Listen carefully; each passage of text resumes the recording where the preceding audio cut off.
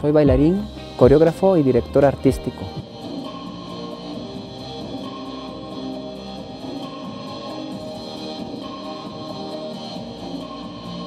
La danza contemporánea, mi pasión y mi necesidad de crear.